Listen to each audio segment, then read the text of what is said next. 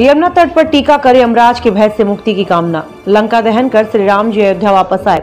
लोगों ने धार्मिक आस्था में सराबोर होकर दीपावली मनाई। तब से दीपावली का पारंपरिक त्योहार हर्षोल्लास के साथ मनाया जाता है।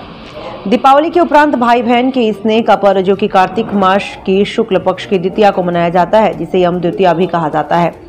आज के दिन भाई बहन के स्नेह का पर्व भाई दूज जिसके अंतर्गत बहनों ने भाई के माथे पर तिलक लगाकर मिष्ठान अर्पण कर भाई की लंबी उम्र सुख समृद्धि की कामना की थी। प्राचीन कथा अनुसार परम तेजस्वी सूर्य देवता की पत्नी का नाम छाया था। उनकी कोख से यमराज और यमुना का जन्म हुआ। यमुना अपने भाई यमराज से अगाधिष्णि करती थी। बहन यमुना अपने भाई से सदैव निवेदन करती कि वह हमारे घर आकर भोजन करें। व्यस्त होने की बात कहकर यमराज अपनी बहन के निवेदन को टालते रहे। दीपावली के उपरांत कार्तिक मास शुक्ल पक्ष की द्वितीया को यमुना ने एक बार फिर अपने भाई यमराज को निमंत्रण देकर घर बुलाया। यमराज ने सोचा, मैं तो सभी के प्राणों को हरने वाला हूँ, वैसे भी मुझे कोई अपने घर नहीं बुलाना चाहता। लेकिन भाई दूज पर यमराज ने बहन के घर जाने का निर्णय लिया। यमराज को अपने घर में देखकर यमुना की खुशी का ठिकाना नहीं रहा।